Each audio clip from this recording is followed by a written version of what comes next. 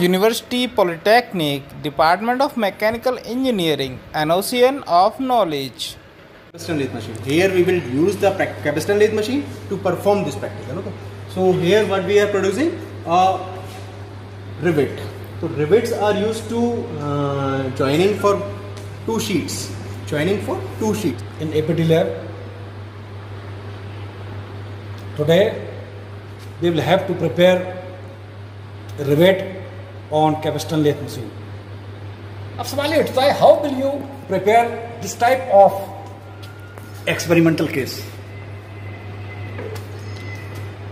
तो student you will have to take 16 mm round bar why will have to take 16 mm because you will have to see here 15 mm is the less than 16 mm okay? तो आप इसको capstan lathe में जो three जो चक है, वहाँ पे इसको होल्ड करेंगे। और दूसरे मायने में होल्डिंग डिवाइस है। Chuck is called in secondary purpose of holding device after that head जो है इसका 15 एम एम है और बेड विड्स जो है सेवन एम एम है और उसका बॉडी का जो मेज़रमेंट है, वो बेटे ट्वेंटी एम एम है और इसका जो डाया है बॉडी का डाया टेन एम एम अब इसमें आप how to use this type of tool कौन सा इस्तेमाल करेंगे? पहले तो एक पार्टिंग टूल लेंगे। Otherwise called in secondary purpose of facing tool it is the made of high का, high speed steel. And turning tool लेंगे, जिससे आप बॉडी का स्ट्रक्चर जो है 10 एम mm बनाएँगे, और फेसिंग टूल से बोथ साइड यहाँ भी फेस करना है, और इसके इन साइड द बॉडी के स्ट्रक्चर पे यहाँ पे ये इतना भी आपको फेस करना है, और यहाँ पे ये इसका दाया है ना बॉडी का, यहाँ भी आपको फेस करना है। करेक्ट देखिए सबसे पहले इसका हम फेस करेंगे। सिक्सटी एम का ये डाया वाला राउंड बार ले रखा है। तो सबसे पहले इसका हम आ, सबसे पहले हम यहाँ देखते हैं मशीन को ऑन कर रहे हैं। मशीन को ऑन करने के बाद ये स्पिंडल रोटेशन स्टार्ट कर देगा जिससे कि चक जो है वर्कपीस को होल्ड किए हुए वो रोटेशन स्टार्ट कर देगा। ओके इसके बारे में बताया था जो कि स्मॉल कंपोनेंट्स पे हम कर पाते हैं। तो आपने यहाँ देखा स्पिंडल रोटेशन स्टार्ट हो गया। और फेसिंग करेंगे।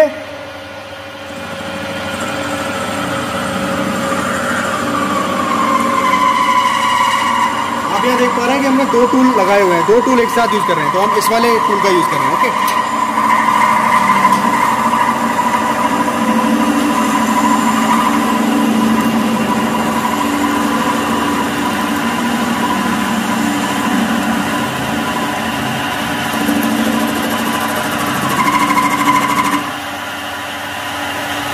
अब हमने टर्निंग टूल लिया।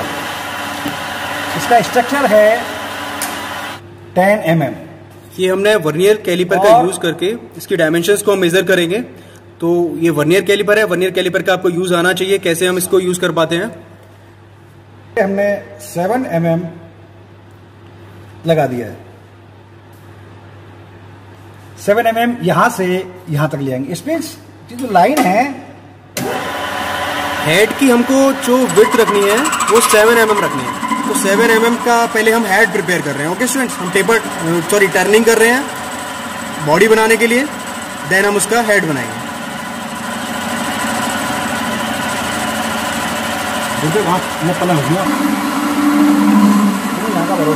अब यहाँ पर ये चिप्स आपकी फॉर्म हो रही है जो कि कंटिन्यूस टाइप चिप्स हैं। देख रहे हैं आप ये चिप्स निकल रही हैं। थ्री टाइप्स की चिप्स होती हैं। Continuous chips discontinuous chips and buildup edge chips तो आप यहाँ देखा रहे हैं, इस प्रोसेस से हमारी कंटिन्यूस टाइम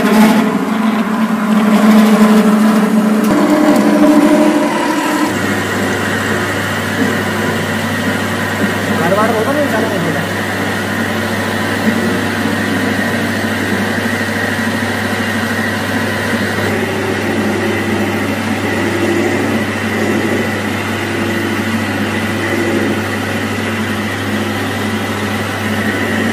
बेटा, आप देख पा रहे हैं, यहाँ पर हम कूलिंग अप्लाई करा रहे हैं क्योंकि हीट ज़्यादा डेवलप हो गई थी यहाँ पर।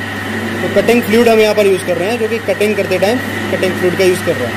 ओके जिससे सरफेस भी अच्छी निकले। ओके और आपका वियर टीयर होने के चांसेस भी थोड़े कम हो जाए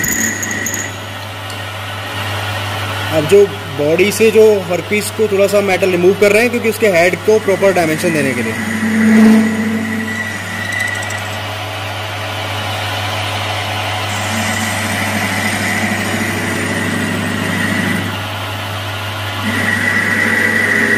हमारी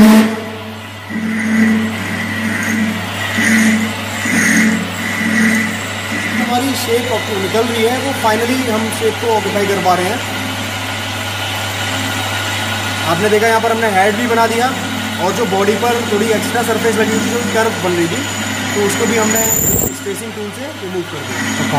Required dimension rivet from the whole work piece okay जितना हमें चाहिए था उतनी लेंथ का जैसे हमें कितनी लेंथ का चाहिए था सेवन एम एम बॉडी का length and twenty M M body का लेंथ तो 27 टोटल लेंथ रहेगी हमारे रेबिट की और इतना बाकी का जो रेस्ट है उसे हम डिडक्ट कर कट कर रहे हैं ओके तो आई होप आपको बहुत कुछ समझ में आया होगा इसका.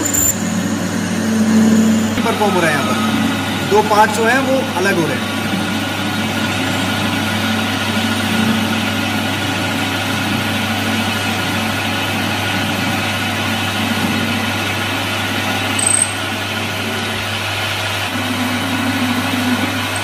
पार्टिंग ऑफ़ हो चुका है। पार्टिंग ऑफ़ कंप्लीट हो गया है।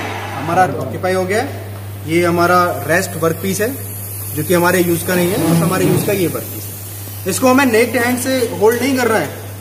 यहाँ पर हमें इसे होल्ड करने के लिए प्लायर का यूज़ कर सकते हैं टोंग का यूज़ कर सकते हैं। क्योंकि ये बहुत ज़्यादा हीटअप है। जो एक्चुअली हीट निकलती है मशीनिंग के टाइम पे वो तीन जगह डिस्ट्रीब्यूट हो जाती है ओके स्टूडेंट्स तो तीन जगह जैसे डिस्ट्रीब्यूट होने के लिए हम कहेंगे कि वर्क पीस पे चली जाती है हीट इसके अलावा टिप पॉइंट चिप पर एंड कटिंग टूल पर। ओके तो तीन जगह हमारी हीट जो है मशीनिंग के टाइम पर डिस्ट्रीब्यूट होती है। तो आई होप आपको बहुत कुछ समझ में आया होगा। ये आपका प्रैक्टिकल नंबर वन था, जो कि हमने रिविट परफॉर्म किया रिविट प्रिपेयर किया है कैपिस्टन लेक में। ओके स्टूडेंट्स तो नेक्स्ट हम देखते हैं और प्रैक्टिकल करेंगे हम। Combination of nut and bolt बनाएँगे। ओके शेपर पर हम परफॉर्म करेंगे। हॉरिजेंटल मिलिंग मशीन पर गियर अरेंजमेंट बनाएँगे स्पर गियर बनाएँगे। वर्टिकल मिलिंग मशीन पर हम प्रैक्टिकल परफॉर्म करेंगे तो यहाँ से आपको बहुत कुछ एडवांस लेवल पर सीखना पड़ेगा। आपने यहाँ पर देखा था कि जब हीट निकल रही थी तो हमने कटिंग फ्लूड को अप्लाई किया था। तो कटिंग फ्लूड अप्लाई करना भी एक सही प्रोपोर्शन में एक अपनी ट्रिक होती है। तो ये चीज़ें हमें आनी चाहिए। ओके? जिससे कि मशीनिंग अच्छी होगी एक्यूरेसी अच्छी आएगी और प्रोडक्ट हमारा बहुत अच्छा तो थैंक यू